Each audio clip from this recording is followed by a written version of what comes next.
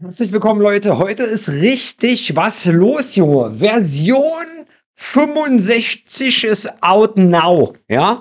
Und immer wenn ja so neue Versionen kommen, dann kommen ja so neue Sachen und von daher gucken wir mal rein, was Version 65 out now äh, so beherbergt. Von daher los jetzt.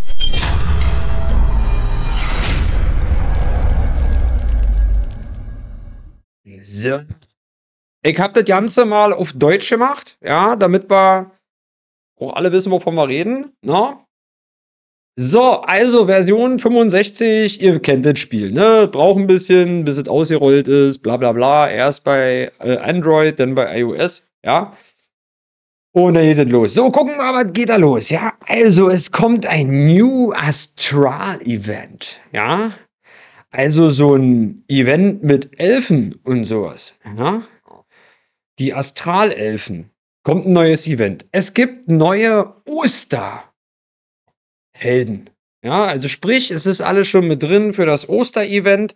Ist ja logisch, denn die Events sind ja mittlerweile, also diese saisonalen Events, sind ja mittlerweile so lang, ja, dass du ja von einem Event ins nächste startest. Ne? Also ich gehe mal davon aus, dass sie jetzt im März direkt auch direkt loslegen mit den Dingern, ne? damit du ja die Münzen los wirst. So, Hero of the Month gibt's auch, ne? Anushka. Anushka kommt, ja, im März in Lila. Ich weiß jetzt gerade nicht, was Anushka macht. Ich habe mich da in der Beta tatsächlich nicht mit auseinandergesetzt. Ähm, ja, vielleicht haue ich noch ein Video raus. Ja, wir mal gucken. Ne? So, Springville kommt und Hero League kommt zurück. Habe ich heute schon, haben sie schon vorher angeteasert in bunten Bildern. Gucken wir uns gleich an. Ja, so, jetzt gucken wir mal. Neues Astral-Event. Ja, Astral-Ereignis. 7. März bis 9. März. Drei Tage nur. 7., 8., 9. Krass. Okay. Besuchen Sie die Astralebenen und nehmen Sie an der Herausforderung des Astral-Elfen gleich. Also Astral-Elfen. Ja, also Elfen. Elfen-Event. Ja, so. Bei der Astralbeschwörung ist es so ein bisschen wie bei den Goblins. Ja, wenn Sie einen legendären Astralhelden aus der Astralbeschwörung bekommen, erhalten Sie einen weiteren legendären Astralhelden als Bonus. Ja. Meine, wenn du dann was kriegst, ist das ja schön. Ja, Kacke ist bloß, wenn du nichts kriegst. Ne? Wie bei den Goblins oft. So, neue Quest, Level-Eigenschaften, Ebene der Astralelfen. Die Mana-Generation der Helden oder des Helden wird verdoppelt. Krass. Alle von Helden gewirkten Statuseffekte dauern nur eine Runde. Das ist nicht so krass. Gilt nur für Statuseffekte, bei denen die Dauer angegeben ist. Alle Feinde bleiben davon unberührt. Ach ja. So, Feinde stehlen alle drei Runden 15% Mana von allen Helden. Ja, das ist ja nicht in Ordnung, ja? Aber gut, nehmen wir so hin, ne? So, es gibt vier neue legendäre Helden, einen äh, Vier-Sterne-Held und einen Drei-Sterne-Held. Wir kennen das Spiel, mittlerweile sind so Vier-Sterne-Helden und Drei-Sterne-Helden, also wo es früher quasi mehrere gab. Müssen sie jetzt wenigstens einen machen, ne? Aber ansonsten geht es ja immer nur um die Fünf-Sterne-Helden. Dann kommt Springville. Oh, hätte ich mir früher gedacht. 18. März erst. Oh, aber dafür den gesamten April noch. Alter Lachs.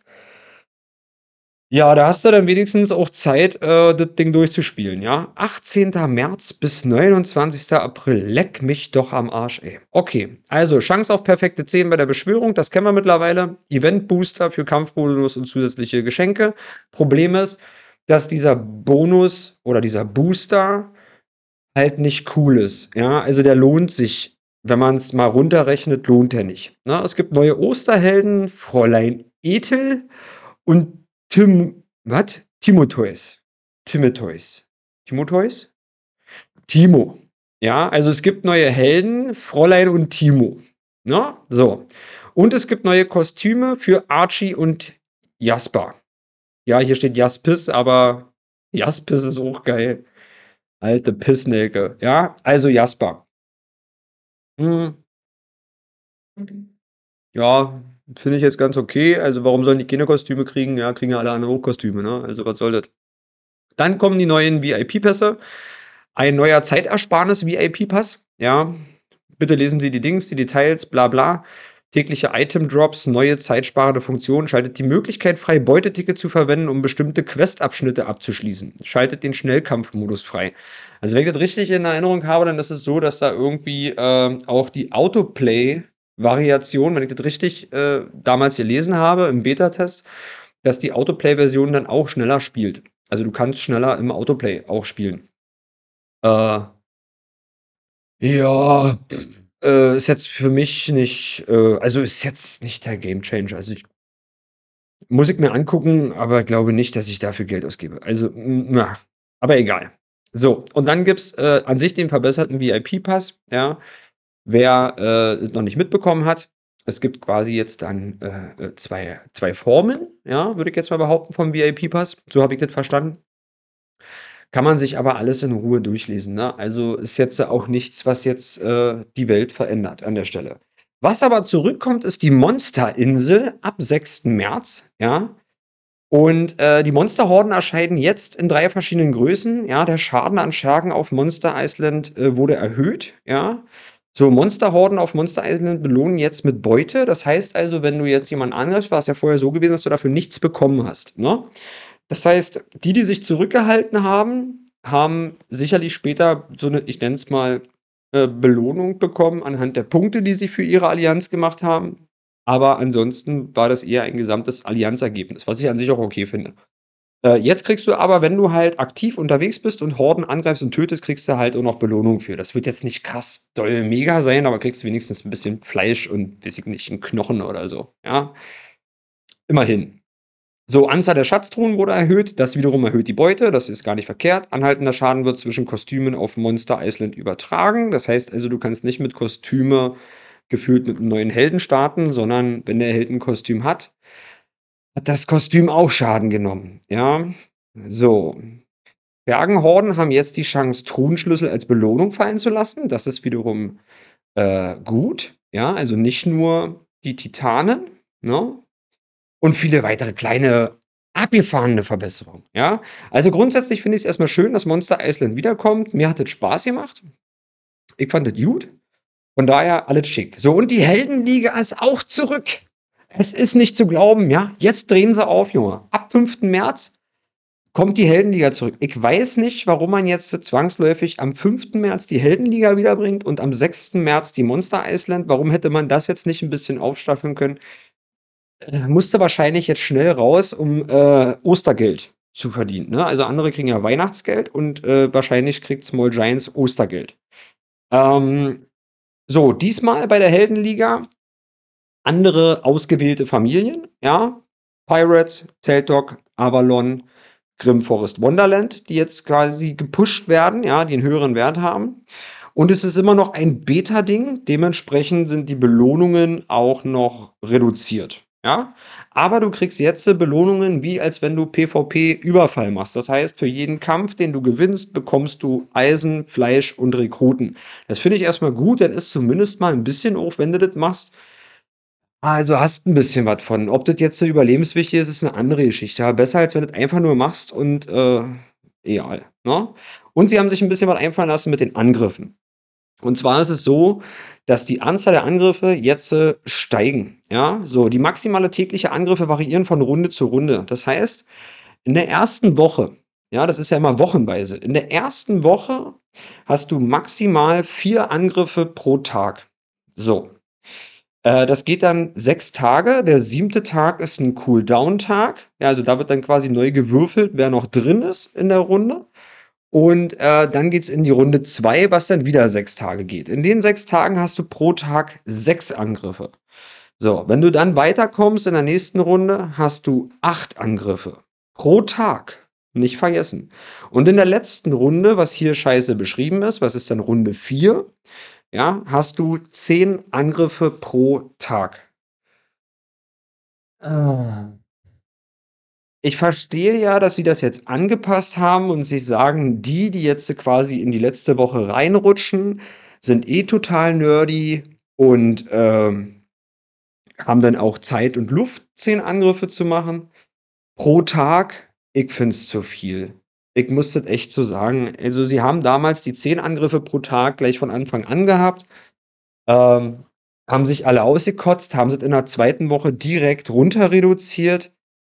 Jetzt gehen sie wieder hoch. Zehn Angriffe pro Tag finde ich zu viel. Plus die ganzen Sachen, die du über den Weg noch machen musst. Ähm, ist meine Meinung. kann jeder drüber denken, wie er mag. Ich persönlich finde es für berufstätig mit allen Sachen, die sonst noch so anstehen, zu viel, muss ich einfach so sagen. Ja. Die Flucht aus Schlachten wird jetzt als Niederlage gewertet, anstatt 0 Punkte zu erhalten. Ähm, wenn ich das jetzt quasi richtig in Erinnerung habe, ist es so, dass wenn du damals geflohen bist, hast du, egal wie es aussah auf dem Feld, 0 Punkte bekommen.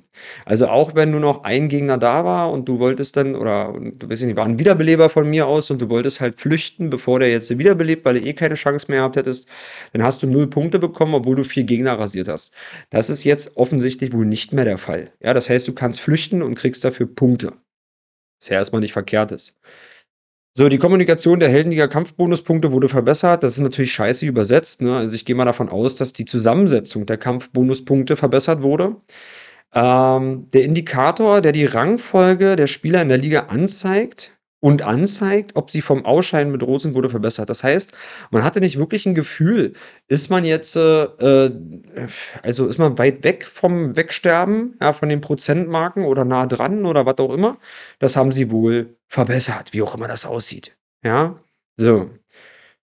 Äh, brr, brr, brr. Ja, dann kommt dazu, dass quasi, äh, die vorgestellten Familienboni wurden überarbeitet, also aktualisierte Stadtbonis für Helden, zuvor 30% für alle Seltenheiten. Jetzt ist es so, dass wenn du mit 5 Sternen angreifst, kriegst du 40% obendrauf, mit 4 Sternen 60% und mit seltenen Helden 100% Muss man mal gucken, inwieweit da trotzdem eine Chance besteht, mit, äh, 3-Sterne-Helden reinzugehen. Also, ich wüsste wenn ich so zurückdenke, was ich für Brocken hatte in den normalen Kriegen, also nicht normalen Kriegen, in den normalen Helden-Dingsbums damals, dann bin ich der Meinung, äh dass ich da mit 3 Sternern nicht reingehen brauche, also selbst mit Alpha Break. Also, äh, da fällt mir jetzt so ein, so 'n Fatz oder so 'n so 'n Strauchbär, aber wenn die alle langsam auch unterwegs sind, äh ja dann hat das nicht viel Sinn gehabt. Aber lassen wir uns überraschen. Kommt auf jeden Fall wieder. Wieder als Beta-Test, damit sie sich quasi rausreden können, dass sie nicht viel Belohnung ausschütten dafür. Mal gucken. Muss ich mir wirklich anschauen, ob ich in der letzten Runde da irgendwie 10 Angriffe oder auch 8 am Tag, finde ich auch viel, aber mal sehen. Ja. So, Verbesserungen für die Aufsammelbeschwörung wurde eine Münze hinzugefügt. Ah, ich weiß jetzt nicht, was er meint mit 'ner Aufsammelbeschwörung.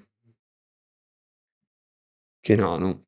Ja, gibt 'n neuen visuellen Effekt, ein blauer Wirbel, wenn die Mana-Menge eines Helden am Ende einer Runde geändert wird. Na bitte, ja? Also krass, Alter, ja? Ähm. Ja, gut, hier noch zig Korrekturen, ne? Ähm, die könnt ihr euch sicherlich alle ganz in Ruhe selbst durchlesen. Ich glaube, da müssen wir jetzt nicht, ähm, alles durchgehen, ja weil das mir einfach zu nervig ist, tatsächlich, ja. Es ist mir zu nervig und außerdem muss man da auch gucken, was betrifft einen davon oder was nicht, ne? Hier zum Beispiel Ausweichmanöver von Margaret und Arfanias brechen nun korrekt kaskadierte Angriffe ab, die angeben, dass ein Ziel getroffen werden muss, zum Beispiel Khufu oder Arix. Das ist zum Beispiel wichtig, ne, dass wenn Arfanias jetzt auslöst, Khufu nicht durchsenzt, sondern dann ist vorbei. Ja, so 'ne Information ist zum Beispiel wichtig. Da muss einfach jeder mal jetzt schauen, was ist für seine Helden oder für seine Gegner halt wichtig. Hm. Und sich das mal in Ruhe durchgucken, ne? So, es gab dann auch noch so 'n, ähm müssen wir grade gucken. Warte. So 'n anderes, ähm Dingsbums. Ne. Schön erst mal die Kamera weggemacht. Äh, es gab da noch so 'n anderes Dingsbums und zwar aber ich glaube, da steht auch nichts weiter Crazyes drin.